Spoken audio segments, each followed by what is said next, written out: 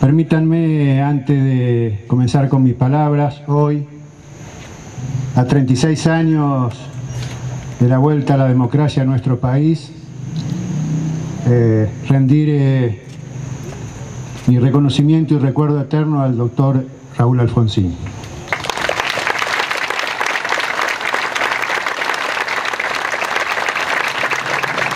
Gracias. Vecinas y vecinos, sancarlinos, como siempre, en cada oportunidad que tenemos, lo primero que hacemos es agradecer. Y en este caso, comenzando a agradecer a Dios por esta noche magnífica que nos regaló y que nos permite congregarnos cívicamente en esta nuestra plaza principal. Agradecer también a los trabajadores y trabajadoras municipales. Con la inmensa mayoría de ellos hemos construido un afecto casi familiar. Para ellos pido un fuerte aplauso.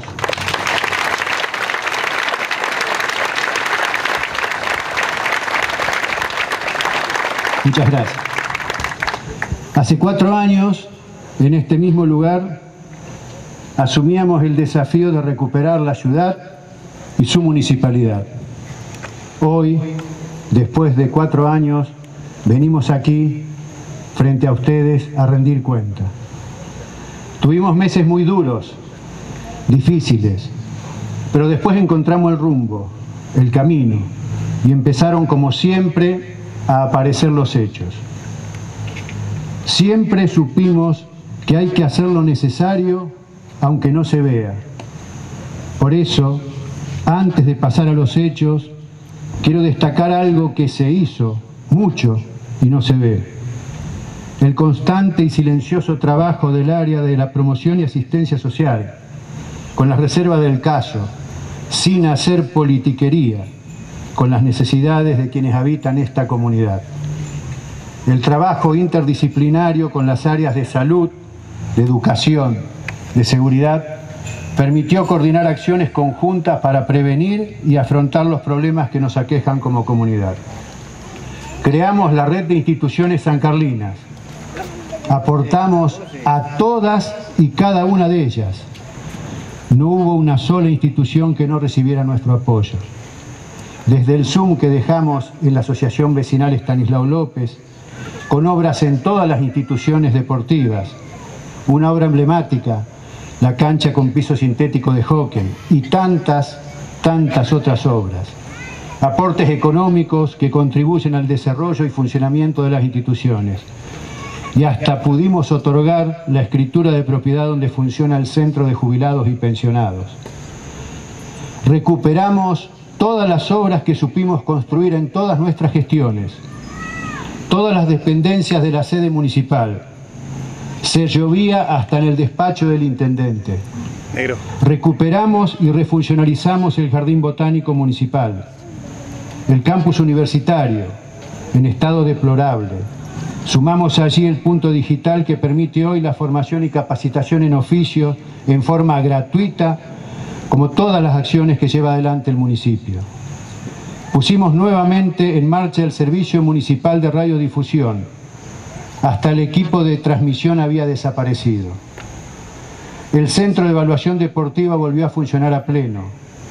El paseo parque de la ciudad, con nuevos sectores para juegos, juegos inclusivos, aparatos de gimnasia, nuevas tecnologías, internet libre y gratuita, la estación solar. Remodelamos todo el sector de la calle Mitre. Construimos el nuevo anfiteatro. Recuperamos el Centro Municipal de Actividades Culturales.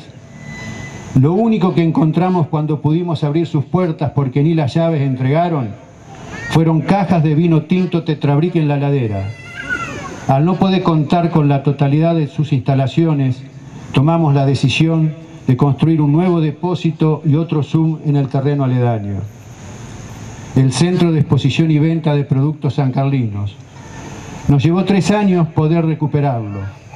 Todo el interior, sanitario, la fachada y el salón de exposición y venta que habilitamos el sábado pasado. Ampliamos el corralón municipal, adquirimos un terreno aledaño de 1.400 metros cuadrados, Enfrente construimos un nuevo galpón de 800 metros cuadrados. Pusimos en marcha el centro de monitoreo, un nuevo edificio dotado de la última tecnología. Incorporamos el sistema de alerta GeoGuardian gratuito para todos los que se adhieran al mismo.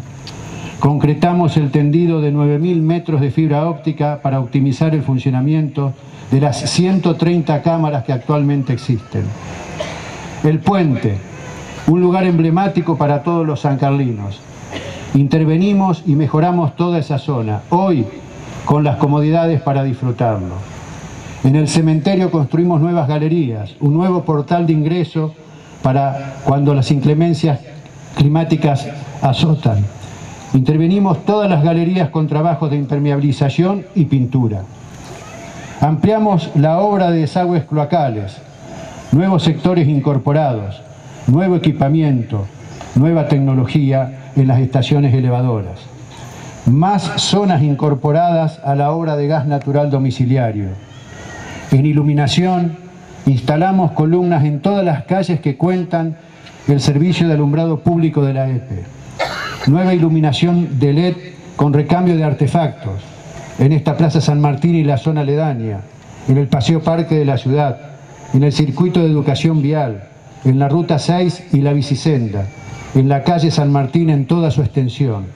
En estos días se comienzan los trabajos sobre la calle Belgrano. Pusimos en marcha un nuevo plan de pavimentación que está en plena ejecución. Reconstruimos la playa de estacionamiento de camiones y la dotamos de nueva iluminación. Recuperamos todas las calles urbanas. No queda ni una sola cuadra con piso de tierra todas mejoradas y materiadas con material pétreo. Los caminos rurales, después de ocho años, volvieron a tener la atención debida. Recuperamos y ampliamos los caminos mejorados con ripio. Realizamos la apertura de caminos cerrados y ocupados por más de 70 años. Necesitaríamos horas y horas para hablar de las obras hídricas. Las que se ven y las que no se ven, como los desagües entrubados. Fuimos pioneros en la realización de obras por los bajos naturales y hoy nos usan como ejemplo. La ciudad está mejor preparada para afrontar las grandes precipitaciones en cortos periodos de tiempo. Después de años y años, gracias al gobierno de la provincia se concretó la repavimentación de la Ruta 6. Para acelerar los tiempos y que pudiese licitarse la obra, nos ocupamos de realizar el proyecto que abarcó desde la autovía 19 hasta la calle Rivadavia de San Carlos Sur. Hoy está en plena ejecución la rotonda de acceso a nuestra ciudad, que también estaba contemplada en dicha obra. Ejecutamos la nueva calzada de la intransitable bicisenda Daniel del Barco y la dotamos de nueva iluminación. Después de tanto hablar, en julio de 2016 compramos el terreno del área industrial. En tiempo récord Desarrollamos el diagrama de reconocimiento efectuando el plano de mensura, estudio hidrológico hidráulico y la aprobación de las obras hídricas realizadas, estudio de impacto ambiental, reglamento de administración y todos los proyectos necesarios para lograr el reconocimiento mediante la resolución 467 del Ministerio de la Producción del pasado 14 de noviembre. Hoy estamos avanzando en la inscripción como conjunto inmobiliario de las 34 unidades funcionales que surgen del plano de mensura. Ahora sí podemos decir que la futura área industrial tiene identidad. Viene ahora la etapa de gestionar ante el gobierno de la provincia y el gobierno nacional el apoyo para la concreción de las obras de infraestructura. Recuperamos la cartelería promocional de la producción San Carlina, que se ubica en el ingreso norte a la ciudad, y la iluminamos con LED. Desarrollamos el plan estratégico para la concreción del Polo Tecnológico San Carlos Centro, que está en plena marcha y que tiene como objetivo principal detectar las necesidades de recursos de empresas o particulares en materia de investigación y desarrollo de nuevos productos o procesos. Creamos la Oficina de Empleo Municipal, que permitió el desarrollo de muchos programas de inserción laboral. Entre otros, muchos jóvenes tuvieron y tienen la primera oportunidad de empleo. Se actualiza en forma permanente la base de datos sobre las necesidades de empleo. Esta base de datos fue utilizada para la incorporación del personal a la obra del acueducto. En este aspecto, también queremos destacar que gestionamos la instalación del obrador de esa, de esa imponente obra en nuestra ciudad, a sabiendas que ello significaría requerimiento de mano de obra. Recuperamos el vivero forestal, creamos el plan director de arbolado público, desarrollamos programas forestales que incentivan la plantación, volvimos a la plantación de un árbol por cada nacimiento.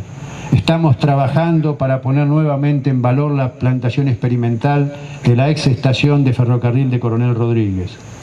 Pusimos en vigencia el procedimiento de control de aplicación de agroquímicos. El San Carlos limpio, conexión reciclado, está funcionando a pleno. Toda la ciudad incorporada a la recolección diferenciada.